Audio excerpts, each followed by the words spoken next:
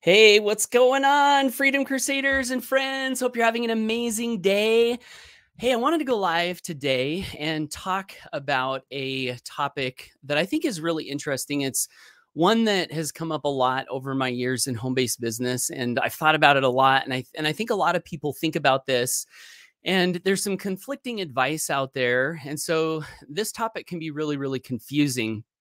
And the title of the video is should faith be private and separate from home based business, or should you somehow find a way to weave your faith into your marketing message? And the first thing that comes to mind is some general advice that I think has been floating around in society for a long time and that is never there's two topics you should never discuss. This is what this is what people say, right? Never discuss religion and never discuss politics. And so, uh, you know, that advice makes a lot of sense for a lot of reasons, uh, because a lot of times, most of the arguments that you see within families or friendships or even on social media, a lot of times boil down to arguments over religion and arguments over politics. And so, the advice to not talk about religion and politics in marketing the intention behind it, I think, is really good. And the intention is to keep peace and not offend anyone and not alienate anyone in your marketing. Now, that being said, as I've thought about that advice over the years, I thought I've thought to myself, you know, there's there's two big there's two big aspects to life that seem to be really important um, that have an effect, a big effect on uh, us individually and also on society as a whole. And those two areas are um, faith slash religion. And I make some differences between those, but you know, for um, the purpose of this uh, this conversation, we can kind of chunk them together. And politics; those seem to be two really, really important topics. And I've often thought it ironic that those are the two topics we're never supposed to talk about in our marketing. So that being said, to just kind of lay a lay a framework here and a beginning for the conversation. By the way, I see we've got some live viewers here. Thanks for being here today. Let me know who you are. I've got a, a chat feed where I can pop up your comment and let me know, you know, where you're at.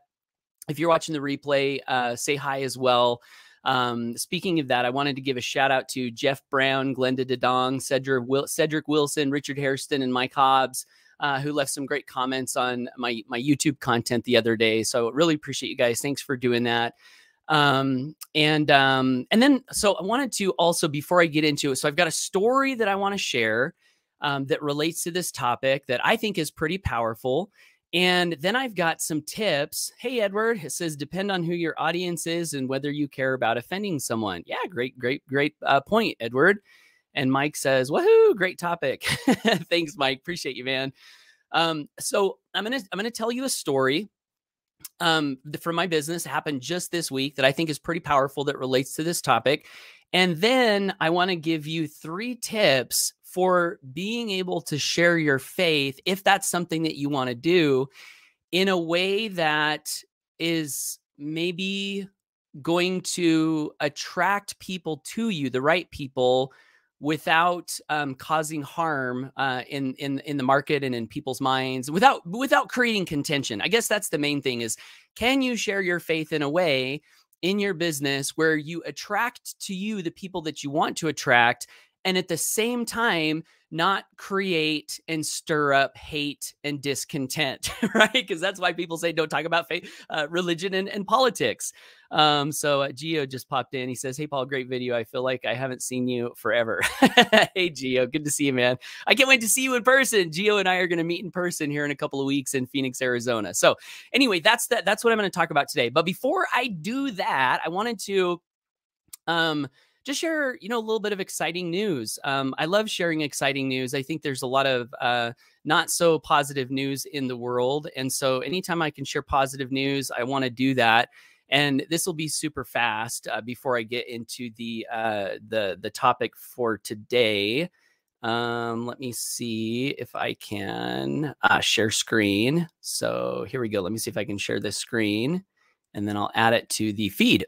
so I wanted to just give a quick shout out to uh, two people. Uh, Daniela Taylor, she said in our company, she said, Hey, family, I made my first two sales today. Very happy. Thank you.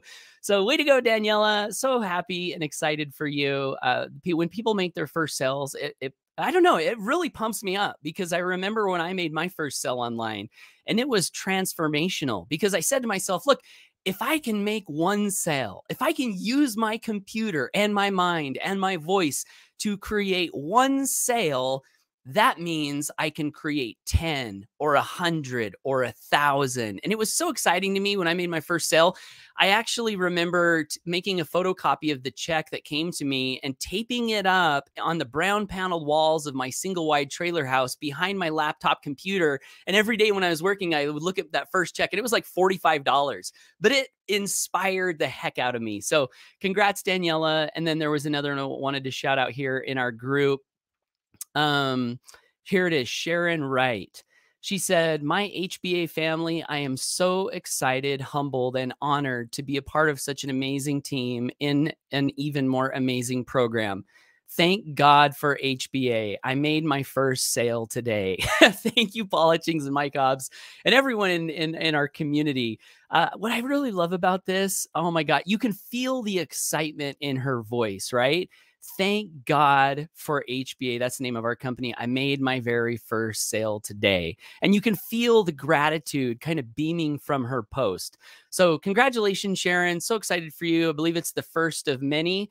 Um, and then the other thing I wanted to share just super fast is we uh, recently may, uh, crossed another milestone in our company. Right now, we um, I just took this this morning we as a community and as a company uh, are generating $215,000 per month in recurring revenue.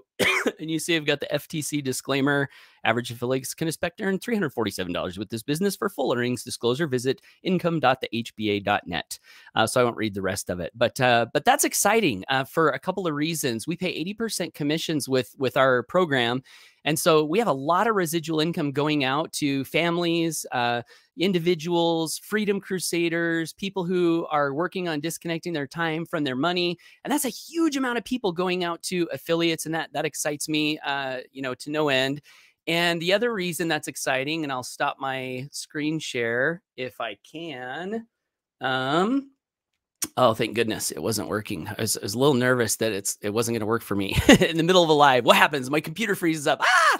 Um, but yeah, the other thing that's cool about that is we donate a portion of that to uh, help feed starving kids. So I'm not going to calculate the number, but it's a big number on a monthly basis that we're doing together as a community. So I'm about to get into the content. I had a couple other comments. I love your perspective on this topic. Thank you, thank you, appreciate that. Um, congratulations. That is awesome. Making online sales is amazing. Yes. Um, that is what I say every day. Thank God for HBA. Thank you. And I think for, I'm thankful for you every day. And I'm also thankful for our community. So, all right, guys. So let's get into the, the content that I wanted to share with you. So, um, should faith be private and separate from home based business? So here's the story that happened in my life this week. I had a guy reach out to me. His name is Joe. And we got on a phone call and 90 minutes later, we finished that phone call. this is like two nights ago. It was on an evening when my wife and kids were were gone, and so I had time to to just sit and talk to to Joe. And during this conversation, Joe said something to me that kind of surprised me a little bit. Um, oh, and let me back up. Before this phone call happened, about two weeks ago, I was talking to one of my best friends, a great leader, uh, affiliate partner in our company, Nick Bramble. And Nick was sharing with me how he feels called to share more of his faith in his marketing. And I said, I'm feeling the same way. And so we had this conversation about the pros and cons and how can you do it in a way that's good. So we had that conversation and that was a conversation that inspired me maybe to start sharing a little bit more about about my faith. not in an overbearing, dogmatic, forceful way, but just kind of mixing in some things with my emails and my social media posts and stuff like that. So then we get to this conversation that I'm having with Joe. Joe said, Paul, one of the things that attracted to me, attracted me to you was how you share your faith in your marketing. And I was like, really? Wow, that's cool. And he's like, I really admire that. And I, as I had this 90 minute conversation with Joe, he went on to tell me, like, we started this great friendship. And he was sharing with me things that were teaching me and inspiring me. And hopefully I was doing the same for him. But he told me this story. He said, you know, I, he said, he said, I um, had had a lot of success early on in life. And then I got off on the wrong track where I got, I got addicted to drugs and alcohol. And for a long time, I was just, you know, for lack of a better word, messed up. And then in 2017, he said this he said, I met God and everything changed. And then he went on to, you know, share with me how his life is transformed and he is you know completely different. He's taking care of his health. He's reading great books. He's he's on a spiritual path and it wasn't any specific path you know it was wasn't my path wasn't any specific organization's path it was his path and it was a spiritual path and i was so inspired by that and then the next and then he ended up joining my business so welcome aboard joe so glad you got started. And then the next morning we had a zoom and we talked for two hours and again it was this other experience of where like it, it, was just like he's a great guy. He has uh, uh, you know similar uh, views on things, and he has faith, and he wants to do the best that he can to show up in life and shine his light in the best way he can. And it was just great, and I was so thankful for this new relationship. And I have to wonder, you know, would that relationship have been started had I not been willing to share some of my faith in my marketing? Chase says, Love your perspective on this topic. Thank you, Chase. Appreciate that very much. Uh, Wanda said, Praise be to God. Hallelujah. yeah, thanks, Wanda. Appreciate that. Um, so I am thankful that I've been sharing a little bit more of my faith in my marketing. And I wanted to give you guys um, a couple of uh, things that I'm thinking about and how to do this in a good way. So, the first thing that came up for me when I titled this video, Should Faith Be Private and Separate from Home Business? The first question I have is can it even ever be private? And the reason I say that is because I believe that our beliefs manifest in the way that we show up in life. So if you're doing nothing more than following your faith and building your business in a way that is in harmony with whatever your faith is, people are probably going to pick up that message whether you say anything about it or not. So that's the first thing, you know. Um, uh, just just be aware that your actions oftentimes speak louder than your words. So this topic of you know should I share my faith? How should I share my faith? Um, again, you know your example. Paulo Coelho said the world is changed by your example, not your opinion. So I think that's something to always keep in mind is that the best expression of our faith is how we show up in life, how we exist. Do we walk the path that we say we believe in? And oftentimes, if we're just walking that path and we're practicing what we might be thinking about preaching at some point, that will be a message that people will hear loud and clear. I have a great friend, Peter Tinsley and um, he he one time said, uh, and whether you're a Christian or not, this this is a powerful message. He said, "Preach the gospel, and if necessary, sometimes use words." I really love that phrase. So thank you, Peter, for that, and that perfectly illustrates this first point um, that I'm that I'm uh, trying to illustrate here. So Adam says. That's one of the main reasons that drew me to HBA. Wow, so cool. Thank you, Adam, for that. Uh, Joe Perry says, proud of you. Thank you, Joe. Love you, brother. Joe's a great mentor and friend to me. Uh, had so much success in business and life and is really just a great man. Um, if you guys don't know Joe Perry, he he actually has a nutritional product that and, and, I'm I'm not trying to promote, you know, anything here, but anyway, maybe I'll get into that another another time. but Joe's a good guy. Connect with Joe. Um, such a great topic and feel the same way about HBA. Love this place. Uh, that's one of the main. Okay, I think I already read that one. Okay, so the tips. so after that, the three tips that I would share if you're going to share your faith. Number one, be humble. And to me, humility equals teachability. Be teachable. So when I'm sharing parts of my faith, I never want to come off as I know all the answers and what I'm sharing is true for everybody. I like to be teachable and and endeavor to say things from my perspective. A great phrase to use that I picked up from Jim Rohn. Uh, he said, "Whenever we're talking about the truth, a great phrase to use is "It seems to me." Um, and so that's an expression of humility. Be, be humble. Uh, you know, there's a great phrase I picked up. It's uh, from St. Augustine. He said this in the third or fourth century. Um, and it was um, si comprehendis, um, si comprehendis non es Deus. And what that means, translated to English, is if you think you've understood God, that ain't God. so that expresses that idea of humility. And I think people are receptive to hearing ideas if they know that you're just another human like them trying to figure it out. So that spirit of humility, I think, is really important. The second tip that I would pass along is be tolerant. And tolerance, I mean, this is a big topic. We could talk a lot about this, but just in simple terms, tolerance to me says, I may disagree with you, but I love you anyway. And it's this state of being where you allow people the space to be different and think differently and maybe even have beliefs that are different than yours. Be open to like, you know, feedback from people and just be okay with that and love them anyway. I think that's a really good um, thing to keep in mind. Um, Sam Sam Simmons says, "Say hallelujah." I love this topic. All right, well, hallelujah, Sam. I do too. so be humble, be tolerant, and then the third tip that I would recommend is be aware of group set group settings. So I might feel a little more flexibility in my personal marketing to say certain things um, and I might be a little more reserved in a specific set of group, a specific group of people, if I know that maybe the things that I would say in the group might be a little out of alignment with the group culture or the group expectations. Um, and and you know, an e easy example of this is let's say, you know, I'm gonna, I'm I'm going to pick a couple of uh, religious groups. Let's say I'm a Baptist and I and I love my religion and I have the chance to go hang out with some Catholics.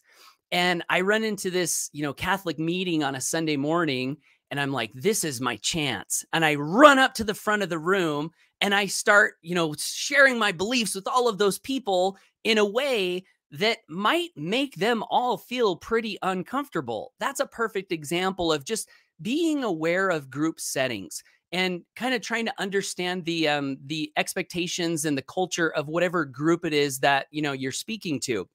I think that's just a really good thing to do, um, and and that kind of leads me to another idea um, is that.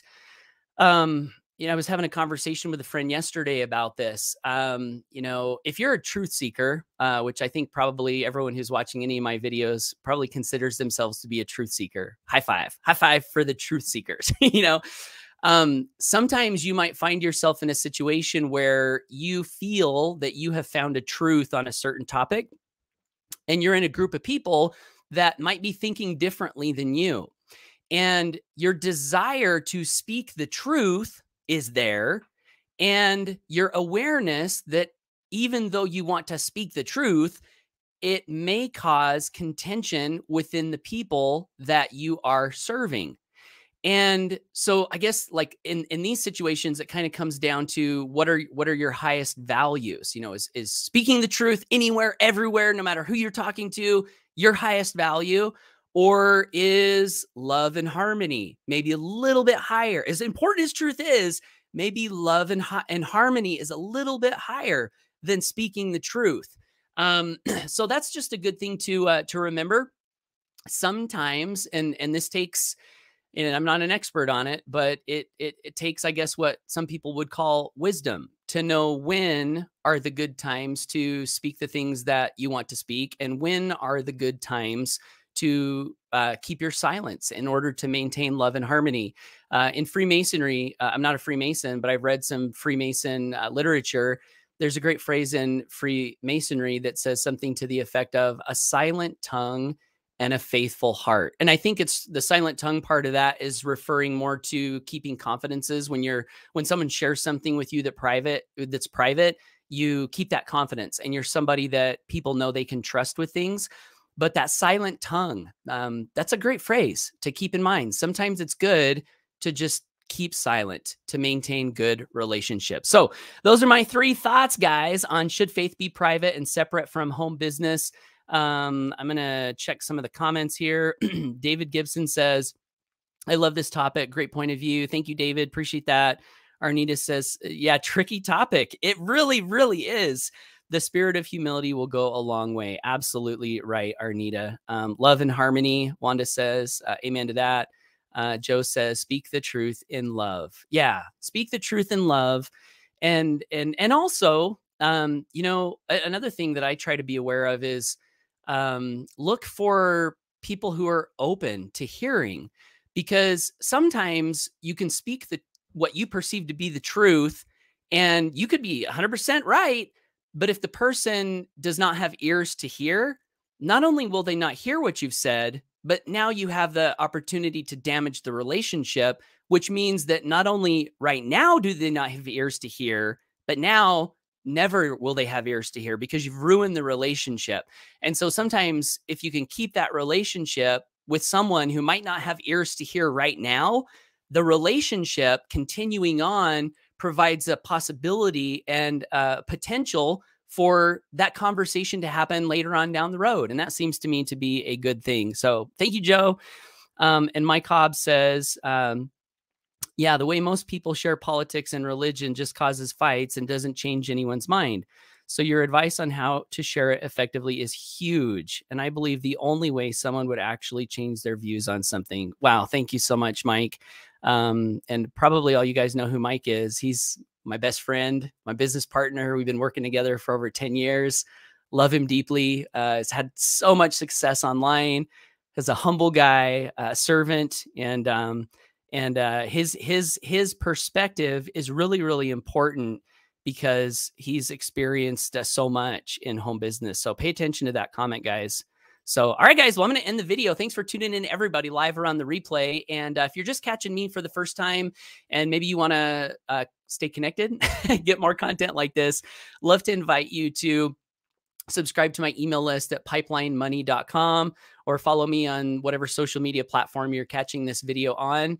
And uh, I would love to do my best to serve you, lift you, help you, pass along lessons that I'm finding valuable in my uh, freedom and uh, home business journey and my life journey. Sometimes I pass along lessons that are just helping me in life. So thanks, everybody. Love you guys. Get out there, make it a great day. Take care, and bye for now.